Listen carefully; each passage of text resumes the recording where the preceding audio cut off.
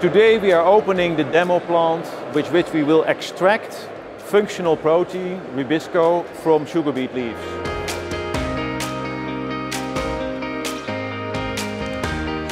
May I ask you to open the demo plant? Three, two, one.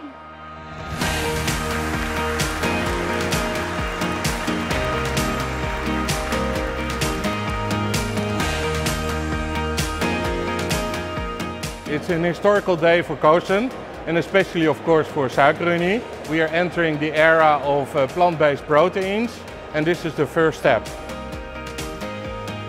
We are in the midst of a uh, protein transition from uh, all kinds of meat uh, proteins to vegan uh, products and uh, Rubisco is the ultimate vegan product.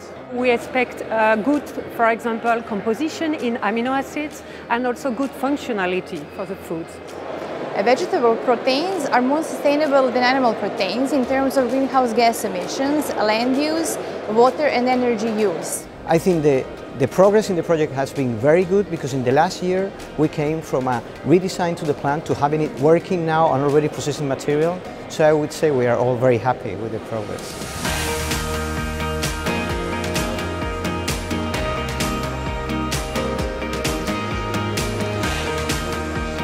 So joining the Green Protein Project uh, has really helped us to speed up our time to market with at least two years and especially the financial contribution has helped us and next to that of course the cooperation with all the parties uh, within the project.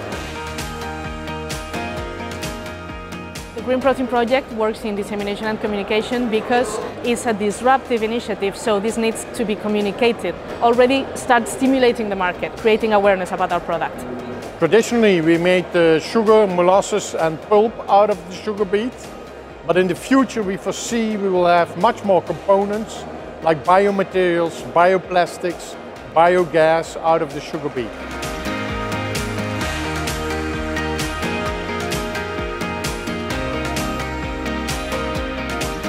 Well, the plant proteins market is actually booming. We get a, a lot of requests from our current customers already to replace animal-based proteins into plant-based proteins.